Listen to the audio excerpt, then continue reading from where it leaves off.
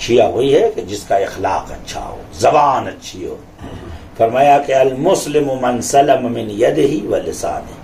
مسلمان وہ ہے جس کی زبان اور اس کے ہاتھ سے لوگ عافیت محسوس کریں۔ حدیثوں میں ہے کہ جس کی زبان سے لوگ ڈرتے ہیں، وہ جہنمی آدمی ہے۔ پتہ نہیں کیا کہہ دے۔ جس کا احترام اس کی زبان کی وجہ سے کرتے ہیں، وہ جہنمی آدمی ہے۔ کیوں؟ پتہ نہیں مت کچھ کچھ غلط نہیں کہتا کچھ مت کہو بھائی۔ جانے دو۔ کیا پتہ نہیں کیا کہہ دے بھائی لہذا جس سے ڈر کے لوگ سلام کرتے ہیں کہتے حدیثوں میں ہے کہ وہ آدمی اچھا آدمی نہیں ہے۔ سلام اگر شوق سے ہو محبت سے ہو کہ آؤ آپ کو سلام کیا جائے۔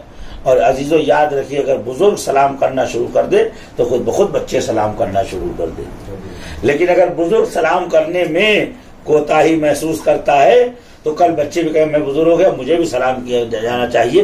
مجھے سلام نہیں کرتا۔ آپ کے بچے نے مجھے سلام نہیں کیا۔